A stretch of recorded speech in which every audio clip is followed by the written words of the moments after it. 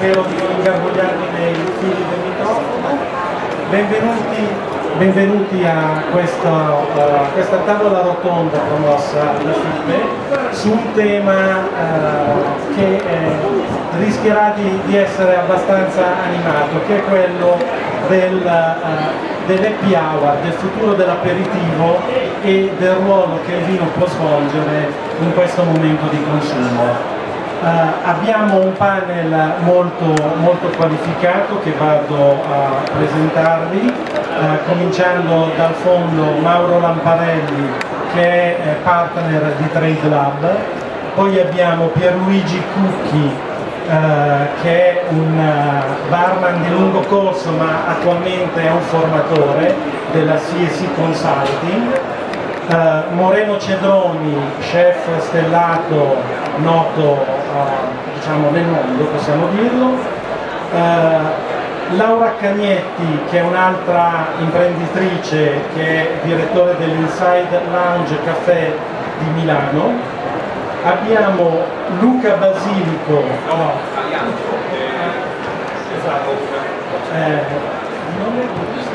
Alessandro Caliandro di eh, Viral Beat, eh,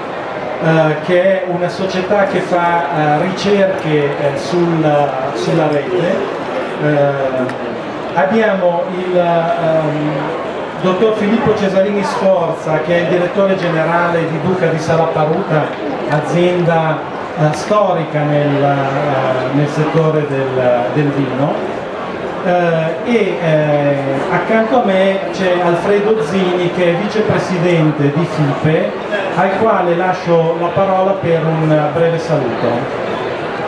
Grazie direttore, buongiorno a tutti. A me è il compito insomma, di, di, ringraziare i relatori per la loro disponibilità e naturalmente tutti i partecipanti a questo, questo convegno. Ci auguriamo noi come FIPE che possa essere da stimolo per un settore importante come quello del pubblico esercizio il ruolo, il ruolo delle Hour. Io arrivo dalla città che è Milano, che è stata all'avanguardia, che è all'avanguardia per gli stili di vita e per eh, l'approccio in Italia di questo settore specifico delle Hour. Si è passati dall'aperitivo tradizionale del Martini, del Bitter,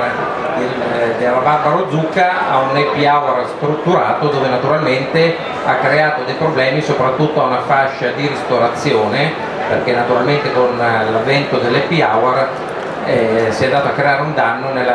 ristorazione tradizionale. Ci auguriamo insomma, dal dibattito di oggi che il ruolo invece del pubblico esercizio ma soprattutto mh, visto dal punto di vista dell'happy hour possa essere trainante per tutto il comparto, per il comparto in generale della ristorazione. Ci auguriamo che i prodotti che eh, favoriscono i giovani, perché sono i maggiori frequentatori di questi locali che offrono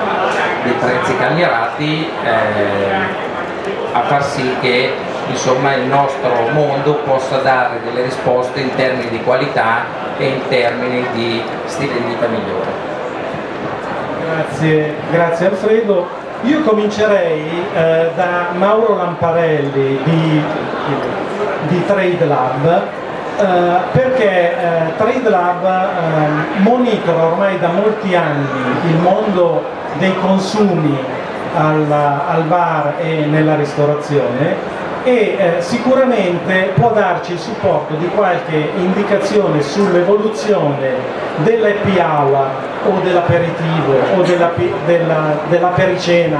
Vedremo anche nel corso del, del dibattito quali sono, quali sono, le forme che questo momento di consumo uh, sta assumendo e quindi lascerei la parola a Mauro Lamparelli per alcune evidenze sul settore siamo. Bene, grazie, buongiorno a tutti, piacere essere qua. Io ho qualche due parole proprio sul tema aperitivo. Cioè, sicuramente l'aperitivo è un'occasione di consumo importantissima in Italia, importantissima sia dal punto di vista del peso che ha eh, sul totale delle consumazioni che si fanno fuori casa, quindi tutto quello che è consumo dalla, dalla colazione per arrivare al dopo cena, quindi un momento di consumo aperitivo importante, importante anche eh, per il livello di diffusione che adesso ha, eh, sia in termini di locali, cioè il numero di diversi locali in cui viene fatta, si fa questa occasione, sia a livello geografico. Naturalmente io parlo in questo caso di aperitivo serale, non sto parlando specificamente, come diceva prima eh, il moderatore della, della aula per forza, dell'aperitivo lungo, dell'aperitivo corto, dell'apericena, sto parlando dell'insieme di queste cose che poi sono differenziate per tipologia di locali, per target, eccetera. Comunque di aperitivo serale si parla perché eh, l'aperitivo pre-pranzo, che forse è un costume di, che, che, resisteva fino a qualche anno fa, adesso tende un po' a sparire, poi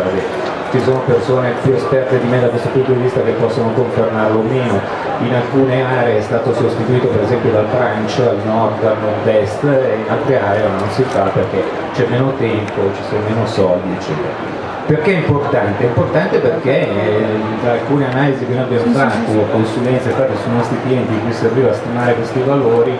stiamo parlando di almeno 14 milioni di persone che almeno una volta al mese fanno l'aperitivo, quindi stiamo parlando di numeri,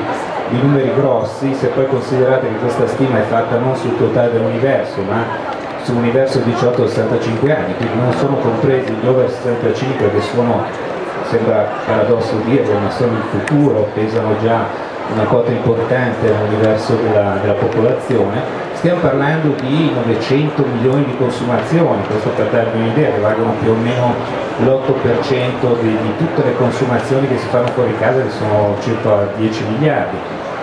Importante per scontrino medio, siamo intorno ai 6 euro, eh, chiaramente il 6 euro è la media del pollo, cioè perché si va dal, dal scontrino del bar classico tradizionale diurno per arrivare al locale serale addirittura alla discoteca che si è integrata anche con l'aperitivo dove superiamo abbondantemente i 10 euro per tipologie diverse di aperitivo servito. Ed è importante anche da un punto di vista eh, di momento di socializzazione, probabilmente il dopo cena, soprattutto in una certa fascia d'età, non è più di, di socializzazione perché non c'è tanto lo spazio per uh, spazio, tempo, eh, casino per parlare, l'aperitivo sicuramente fa socializzazione, in senso lato permette socializzazione. In senso lato, ripeto, da quello che si fa in locale trendy a quello che si fa al bar sport, concedetemi questa cosa, dove la gente si trova, parla e consuma. Importante, dicevo, dal livello di diffusione che ha avuto, una volta quando si parla in termini di locali, una volta quando si parlava di aperitivo si parlava di bar, poi poteva essere il bar diurno, poteva essere il bar con tendenza serale, poteva essere un locale più trendy, però si fermava lì. Adesso senza elencare tutti i posti dove si può fare l'aperitivo, perché penso che siano più o meno noti,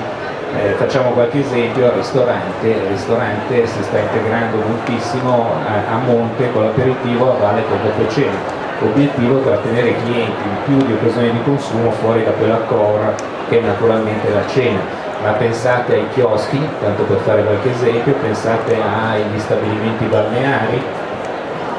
pensate a tutti questi, questi modi, pensate anche a luoghi che una volta neanche ci poteva sfiorare per il fatto di fare l'aperitivo, pensate a luoghi dove noi andiamo a fare shopping, parla Corinda, Rinascente, eh, piuttosto che le librerie Feltrinelli, beh, adesso noi possiamo fare l'aperitivo anche lì, oltre che nei posti più canonici, le discoteche pure, nelle discoteche pure adesso si mangia, si mangia e si fa anche l'aperitivo, quindi è importante da un punto di vista di diffusione. Sottolineare un punto sull'aspetto diffusione eh, che è anche una cosa che si sta sviluppando, un po' il ritorno al passato, farlo a casa di amici. Eh, attenzione che farlo a casa di amici è una cosa che noi notiamo si sta sviluppando molto e non a caso molte aziende importanti hanno portato sul retail, nella grande distribuzione, dei prodotti monodose eh, che rispecchiano, che, che, sono sostanzialmente dei cocktail che vengono invece fatti dai barman fuori casa, quindi questo è un altro elemento da seguire perché questi sono consumi che tolgono consumi ai locali eh, fuori casa. Eh, questa è un po' sostanzialmente la, la situazione, quindi mh, mm, poi ci sono altre cose naturalmente di trend, però penso che questo sia il contesto dell'importanza di un'occasione di consumo come questa. Grazie Mauro. Eh, il tema della multicanalità mi sembra che sia abbastanza centrale in un momento di consumo come quello dell'aperitivo che coinvolge poi fasce di popolazione molto ampia, da, dai giovani ai meno giovani e quindi il, il tema della concorrenza multicanale eh, che toglie spazio ai luoghi deputati per il consumo del, eh, di, qualsiasi, di qualsiasi cibo sostanzialmente, perché non è solo l'aperitivo è un tema che dovremmo avere sempre presente proprio per capire la complessità nella quale stiamo, stiamo lavorando. Tu hai citato il, il, tema della socializzazione come momento importante eh, per il momento dell'aperitivo, cioè la socializzazione è una delle ragioni per cui si fa aperitivo, poi lo chiameremo happy hour, pericena, poi andremo a capire meglio come, dire, la, come qualificare questo momento di consumo. E se parliamo di socializzazione, eh, credo che eh, dire, la palla possa passare ad Alessandro Caliandro perché eh, la sua società va ad analizzare proprio il sentiment, il percepito, il vissuto dei consumatori riguardo a questo, uh, a questo momento di consumo e credo che abbia preparato anche una piccola indagine effettuata ad hoc che ci può essere d'aiuto.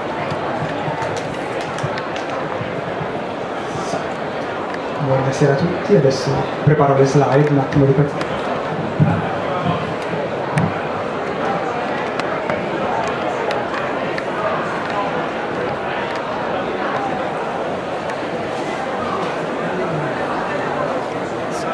questa registrazione poi si può vedere, ci dice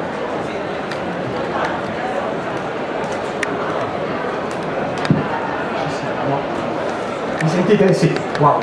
Allora, eh, piccola premessa, io sono Alessandro Caliandro di Varalbit e Varalbit è una media company che si occupa di marketing online e eh,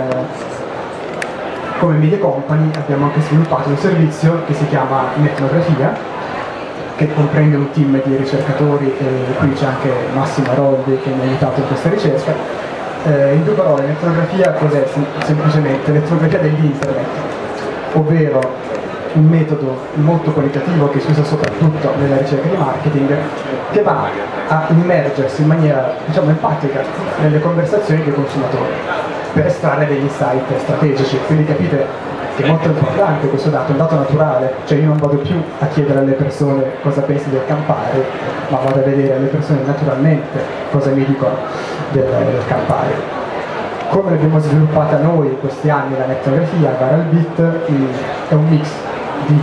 metodi quantitativi e qualitativi, questo è molto importante, inizialmente nasce come uno strumento iperqualitativo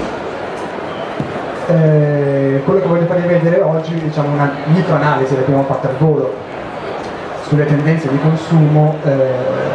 legate all'aperitivo e sulle identità diciamo, che i consumatori esplicano attorno al, all'aperitivo. Abbiamo raccolto vari dati, eh, un po' di dati da Twitter, vedete abbiamo cercato di ricostruire tutto l'universo di questo tipo di consumo, cioè il consumo dell'alcol